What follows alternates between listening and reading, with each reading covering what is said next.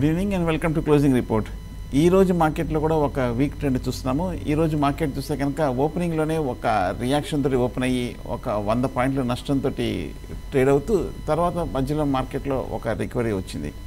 Market చూస్తే కనుక చివరికి డెబ్బై మూడు పాయింట్ల నష్టంతో పదకొండు వేల మూడు వందల నలభై ఐదు పాయింట్ల దగ్గర క్లోజ్ అయింది.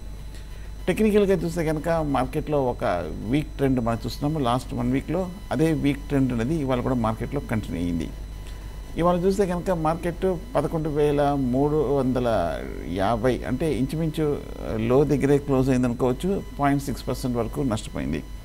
ఇవాళ బ్యాంక్ నిఫ్టీ చూస్తే కనుక మరింత తీవ్రంగా నష్టపోయింది వన్ పాయింట్ సిక్స్ పర్సెంట్ పడింది. బ్యాంక్ నిఫ్టీలో భారీ నష్టాలు చూస్తున్నాము. ఇవాళ చూస్తే కనుక ముఖ్యంగా బ్యాంక్ నిఫ్టీలో ప్రైవేట్ బ్యాంక్స్ ఒక వన్ అండ్ హాఫ్ పర్సెంట్ వరకు రియాక్ట్ అయింది.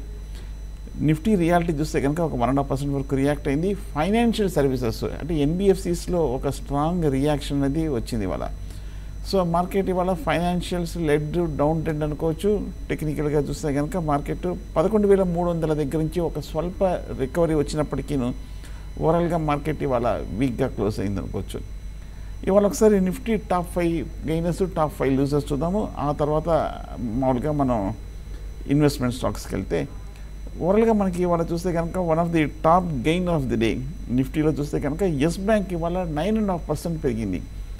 ఈ మధ్య రిజల్ట్ రావడం మనం చూస్తున్నాము. రిజల్ట్కి ముందు ఎస్ బ్యాంక్లో ఒక ర్యాలీ వచ్చింది. ర్యాలీ తర్వాత రిజల్ట్ తర్వాత ఫిజిల్ అవుట్ అయిపోయి ఒక స్ట్రాంగ్ రియాక్షన్ కూడా వచ్చింది. ఒక ట్రేడింగ్ రేంజ్లో ఉండడం మనం చూస్తున్నాము. టెక్నికల్గా పెద్ద మేజర్ మూమెంట్ కనిపించట్లేదు. కానీ ఎయిటీ టు హండ్రెడ్ రూపీస్ లోపల చూస్తుంటే న్యూ ఎస్ బ్యాంక్లో ఒక చిన్న రేంజ్ ఏర్పడినట్టు కనిపిస్తుంది. ఏమన్నా మార్కెట్ రానున్న రోజుల్లో అంటే నెక్స్ట్ వన్ వీక్లో కనుక ఎస్ బ్యాంక్ కూడా కొంచెం స్టెబిలైజ్ అయ్యిందంటే ఈ లెవెల్లో ఏమైనా కొంచెం షార్ట్ టర్మ్ రిలీఫ్ ర్యాలీలోకి వచ్చే అవకాశాలు కనిపిస్తుంది కానీ దానికి వీక్లీ చార్ట్లో ఒక స్ట్రాంగ్ సిగ్నల్ రావాలి. వీక్లీ చార్ట్లో కనుక ఒక స్ట్రాంగ్ సిగ్నల్ రావాలంటే ఈ వారాంతరపు చార్ట్ వరకు వెయిట్ చేయాల్సింది. శుక్రవారం తర్వాత కానీ వీక్లీలో ఒక పొజిషన్ తీసుకోవచ్చా లేదనేది మనకి కన్ఫర్మ్ అనేది అవుతుంది ఆఫ్టర్ ఫ్రైడే. అలాగే వాళ్ళ నిఫ్టీలో కూడా చూస్తే కనుక top gain of the day వాళ్ళు చూస్తే కనుక వేదాంత. వేదాంత ఇవాళ ఒక ఫోర్ పర్సెంట్ పైగా పెరిగింది వేదాంత. వేదాంత ఓవరాల్గా చూస్తే కనుక ఈ స్టాక్ మనకి ఈ సెగ్మెంట్ స్టాక్స్ అన్నీ కూడా బాగా వీక్గా ఉండడం చూస్తున్నాము. వేదాంత చూస్తే కనుక గత కొన్ని రోజులుగా one sixty one sixty five దగ్గర ఒక సైడ్ వేస్ రేంజ్లో కనిపిస్తుంది. బట్ కానీ టెక్నికల్గా చూస్తే కనుక వేదాంత ఒక ఇండస్ట్రీస్గా కనిపిస్తుంది. వేదాంతలో పెద్ద ఏం పాజిటివ్ మూమెంట్ మనకి కనిపించట్లేదు. నెక్స్ట్ స్టాక్ చూస్తే కనుక top gain of the day చూస్తే కనుక త్రీ అండ్ హాఫ్ పర్సెంట్ వరకు పెరిగిన స్టాక్ హిండాల్కో. ఓవరాల్గా మనకి మెటల్స్లో కొంచెం టాటా స్టీల్ ఒకటే కొంచెం బాగున్న విషయం మనకు తెలిసిందే. హిండాల్కో చూస్తే కనుక అండర్ పెర్ఫార్మ్ చేస్తున్న స్టాక్. హిండాల్కో చూస్తే కనుక ప్రస్తుతం పెద్ద మేజర్ మూమెంట్ సిగ్నల్స్ ఏం కనిపించలేదు. ఇవాళ ఒక టాప్ గెయినర్ అయినప్పటికీ వేదాంత చూసి హిండాల్కో చూస్తే కనుక ఒక మనకి టూ హండ్రెడ్ పైన క్లోజ్ అయింది. సో రానున్న రోజుల్లో హిండాల్కో కనుక ఏదైనా ఒక టూ హండ్రెడ్ పైన కనుక స్టెబిలైజ్ అవుతే అప్పుడు కొంచెం ఒక short term relief rally two twenty వరకు ఎక్స్పెక్ట్ చేయొచ్చు. సో హిండాల్కో ప్రస్తుతానికి రెండు వందల రూపాయల మేజర్ సపోర్ట్ దగ్గర ప్రస్తుతానికి కన్సాలేషన్ అవుతుంది. అలాగే next top gainer of the day చూస్తే కనుక ఇవాళ త్రీ పర్సెంట్ వరకు పెరిగింది ఇవాళ India bulls housing finance NBFCs అన్ని కూడా ఒక స్ట్రాంగ్ రియాక్షన్ వచ్చినప్పటికీ ఇండియా బుల్స్ హౌసింగ్ ఫైనాన్స్ మటుకు ప్రస్తుతానికి కన్సాలేషన్ అవుతుంది. ఇన్ఫ్యాక్ట్ లాస్ట్ సిక్స్ మంత్స్గా చూస్తే కనుక సిక్స్ హండ్రెడ్ సిక్స్ ట్వంటీ దగ్గర సపోర్ట్ తీసుకున్నట్టు కనిపిస్తుంది. సపోర్ట్ తీసుకొని కొంచెం ఈ రోజు ఇవాళ కొంచెం స్ట్రాంగ్గా క్లోజ్ అయింది. బహుశా ఈ రెండు మూడు రోజులు కనుక ఇండియా బుల్స్ హౌసింగ్ ఫైనాన్స్లో కనుక ఫర్దర్ పాజిటివ్ లక్షణాలు కనిపిస్తే అప్పుడు బహుశా సిక్స్ థర్టీ లెవెల్స్లో కన్సిడర్ చేయొచ్చు. ఎంబడే ఒక ట్వంటీ రూపీస్ మించకుండా సిక్స్ టెన్ పైన స్టాప్ లాస్ పెట్టుకోవచ్చు. బట్ ఓవరాల్గా ఇంకా కన్సాలేషన్ అవ్వాల్సిన అవసరం ఉంది. Next couple of days six twenty to six thirty levels మధ్యన స్ట్రెంత్ కనిపించాలి. అలాగే next top gainer of the day చూస్తే కనుక ఇవాళ త్రీ పర్సెంట్ వరకు పెరిగిన స్టాక్ ఇవాళ జీ ఎంటర్టైన్మెంట్ జీ ఎంటర్టైన్మెంట్ కూడా చూస్తే కనుక ఈ మధ్య ఈ ఇండియా బుల్స్ హౌసింగ్ ఫైనాన్స్ లాగే జీ ఎంటర్టైన్మెంట్ కూడా ఒక ట్రేడింగ్ రేంజ్లో ఉండడం మనం చూస్తున్నాము. ప్రస్తుతానికి జీ ఎంటర్టైన్మెంట్ చూస్తే కనుక త్రీ ట్వంటీ త్రీ థర్టీ చాలా రోజులు సపోర్ట్ దగ్గర తీసుకొని త్రీ సెవెంటీ వరకు ర్యాలీ రావడం మనం చూస్తున్నాము. ప్రస్తుతానికి జీ ఎంటర్టైన్మెంట్ కొంచెం లాస్ట్ ఒక నాలుగైదు వారాలుగా బాగా కన్సాలేషన్ అయింది. టెక్నికల్గా స్లైట్గా పాజిటివ్ ఇండికేషన్స్ కనిపిస్తుంది. షార్ట్ టర్మ్ మూవింగ్ యావరేజ్ పైన నిలబడుతున్నట్టు కనిపిస్తుంది. ట్రెండ్ లైన్స్ ఇండికేషన్స్ పాజిటివ్గా కనిపిస్తుంది. డబుల్ టాప్ ప్యాటర్న్ ఫామ్ అయింది. కొంచెం మార్కెట్ డౌన్ ట్రెండ్లో విస్టాండ్ అయింది. ఇవన్నీ చూస్తుంటే జీ ఎంటర్టైన్మెంట్లో కొంచెం ఒక షార్ట్ టర్మ్ రిలీఫ్ ర్యాలీ వచ్చే అవకాశాలు కనిపిస్తుంది. ఇవి టాప్ ఫైవ్ గైనర్స్ వాళ్ళ టెక్నికల్ పొజిషన్ అఫ్కోర్స్ ఫండమెంటల్గా పెద్ద మార్పులే ఉండదు. వీక్లీ వీక్లీ టెక్నికల్సే మారుతుంటాయి. నెక్స్ట్ ఒకసారి మన టాప్ ఫైవ్ లూజర్స్ ఒకసారి చూస్తే కనుక బజాజ్ ఫైనాన్షియల్ సర్వీసెస్ ఇవాళ బజాజ్ ఫైనాన్షియల్ సర్వీస్ చూస్తే కనుక ఇంచుమించు ఒక ఫైవ్ అండ్ హాఫ్ పర్సెంట్ వరకు భారీగా నష్టపోయింది బజాజ్ ఫైనాన్షియల్ సర్వీసెస్ ఈ మధ్య బజాజ్ ఫైనాన్స్ హై నుంచి బాగా కరెక్ట్ అవుతూ వచ్చింది. ఆ కరెక్షన్ భాగంగా Bajaj finance sorry Bajaj fins కొంచెం మళ్ళీ కరెక్షన్ ట్రెండ్ కంటిన్యూ అయింది. టెక్నికల్గా పెద్ద మార్పు ఏం కనిపించట్లేదు. ఓవరాల్గా ట్రెండ్ వీక్గా కనిపిస్తుంది. షార్ట్ టర్మ్ డౌన్ ట్రెండ్ ఫర్దర్గా ఉండే అవకాశాలు కనిపిస్తుంది. హెచ్డిఎఫ్సి వాళ్ళు చూస్తే కనుక ఫైవ్ పాయింట్ టూ పర్సెంట్ వరకు పెరిగింది హెచ్డిఎఫ్సి. హెచ్డిఎఫ్సి చూస్తే కనుక ఓవరాల్గా ఈ మధ్యకాలంలో బాగా పెరిగినప్పటికీను కొంచెం ఈ స్టాక్లో చాలా రోజుల తర్వాత ఒక స్ట్రాంగ్ రియాక్షన్కి ట్రెండ్లో గురైంది.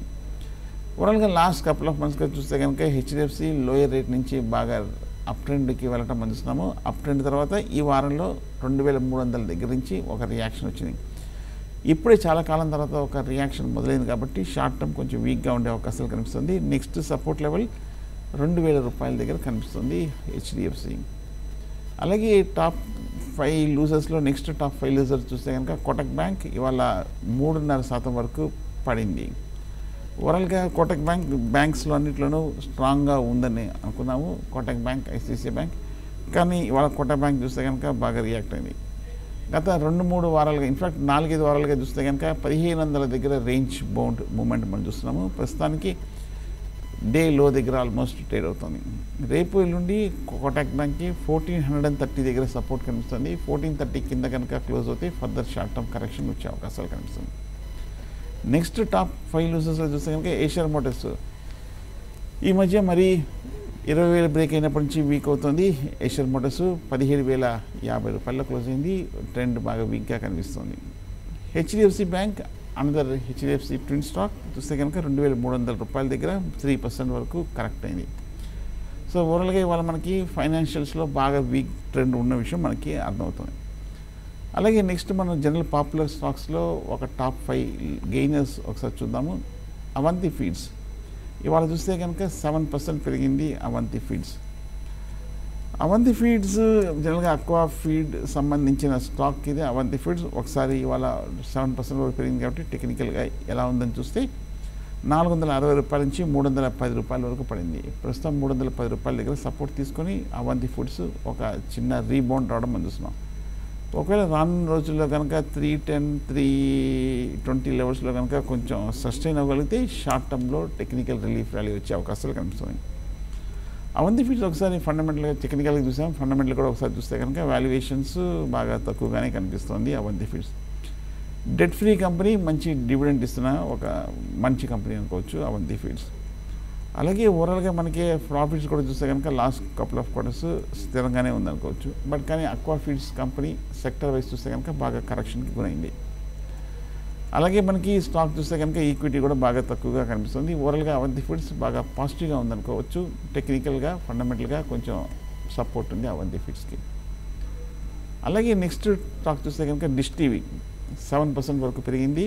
ముప్పై మూడు రూపాయల డెబ్బై పైసలు క్లోజ్ అయింది. ఓవరాల్గా weak stock Sun Pharma advance ఇవాళ ఫైవ్ అండ్ హాఫ్ పర్సెంట్ వరకు పెరిగింది. నూట తొంభై నూట యాభై తొమ్మిది రూపాయల్లో క్లోజ్ అయింది. Kaveri seed five and half percent పెరిగింది. ఇది కూడా మంచి స్టాక్ అనుకోవచ్చు. మన్పసంద్ వీక్గా ఉన్న స్టాక్ బాగా బేరీ ట్రెండ్లో ఉన్న స్టాక్ ఇవాళ ముప్పై ఒక్క రూపాయలు యాభై ఐదు పైసల్లో క్లోజ్ అయింది. ఫోర్ పాయింట్ ఎయిట్ పర్సెంట్ పెరిగింది. Carborundum universal three point nine percent పెరిగింది. ఇంటర్గ్లోబ్ ఏవియేషన్ వాళ్ళ త్రీ అండ్ హాఫ్ పర్సెంట్ పైగా పెరిగింది. Steel authority Dilip Buildcon Cadila health care Arvind డిష్మెంట్ కార్బో అదానీ పవర్ ఇవన్నీ కూడా యావరేజ్గా ఒక three to three and half percent వరకు పెరిగాయి స్టాక్స్ అన్ని కూడా. నెక్స్ట్ టాప్ లూజర్స్ ఒకసారి చూస్తే కనుక మామూలుగా ఇన్వెస్ట్మెంట్ స్టాక్స్లో top loser of the day చూస్తే కనుక ఇవాళ L N T technological services seven and half percent పైగా పడింది. బాగా ఐటీ స్టాక్స్లో బాగా ర్యాలీ వచ్చి బాగా అవుట్ పెర్ఫామ్ చేసే stock L N T technological services.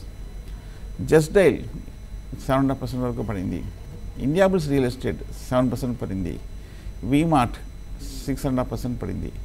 Minda industries six and half percent Venky's India HEG Edelweiss financial PNG health ఈ ఐదు కంపెనీస్ ఫండమెంటల్గాను స్ట్రాంగ్ కంపెనీస్ ఇవన్నీ కూడా సిక్స్ పర్సెంట్ వరకు పడ్డాయి.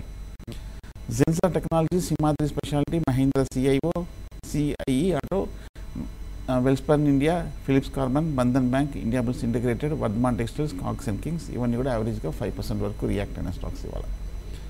సో ఓవరాల్గా మార్కెట్ ఇవాళ వీక్గానే క్లోజ్ అయింది అనుకోవచ్చు. ఒక స్వల్ప రికవరీ వచ్చినప్పటికీను టెక్నికల్గా పెద్ద మార్పు ఏం కనిపించట్లేదు. ఎందుకంటే పదకొండు వేల నాలుగు వందల యాభై ప్రీవియస్ బాటం మొన్న లాస్ట్ వీక్ బ్రేక్ అయింది. బ్రేక్ అవడంతో షార్ట్ టర్మ్ ట్రెండ్ కన్ఫర్మ్ అయింది. సో ఫర్దర్గా కొంచెం మార్కెట్ వీక్గా ఉండే అవకాశాలు ఉంది ఓవరాల్గా మనకి రేపటికి సపోర్ట్ లెవెల్స్ చూస్తే కనుక ఇవాళ పదకొండు వేల మూడు వందల దగ్గర ఒక స్వల్ప సపోర్ట్ తీసుకుంది. రేపు కనుక వీక్ ట్రెండ్ కంటిన్యూ అవుతే పదకొండు వేల మూడు వందల కింద కనుక కసెప్టెడ్ అయితే అవుతే ఫర్దర్ వీక్ ఉండే అవకాశాలు కనిపిస్తుంది. ఒకవేళ పదకొండు వేల మూడు వందల మూడు వందల పది పైన కనుక కొంచెం స్టెబిలిటీ కనిపిస్తే ఇంట్రాడే రికవరీ వచ్చే అవకాశాలు కనిపిస్తుంది బట్ ఓవరాల్గా నా ఉద్దేశం మార్కెట్ పదకొండు వేల రెండు వందల యాభై కీలకమైన సపోర్ట్ పదకొండు వేలు next major short term support target అనుకోవచ్చు. అక్కడ వరకు టెస్ట్ చేసే అవకాశాలు కనిపిస్తుంది సో ఓవరాల్గా ట్రెండ్ వీక్గా ఉన్న నేపథ్యంతో మార్కెట్లో ప్రస్తుతానికి లాంగ్ పొజిషన్స్ అవాయిడ్ చేయొచ్చు. షార్ట్ టర్మ్ కొంచెం వీక్గా ఉండే అవకాశాలు ఉంది కాబట్టి షార్ట్ పొజిషన్స్ ఉంటే కనుక ఒక స్టాప్ లాస్ పెట్టుకోవచ్చు. లాంగ్ పొజిషన్స్కి కొంచెం దూరంగా ఉంటే మంచిది. మార్కెట్ కొంచెం క్లారిటీ వచ్చి మార్కెట్ కొంచెం స్టెబిలైజ్ అయ్యి మార్కెట్ కొంచెం పాజిటివ్ సిగ్నల్స్ వచ్చేంత వరకు మార్కెట్ని అవాయిడ్ చేయొచ్చు. సో ఇది ఈరోజు closing report. Thank you very much.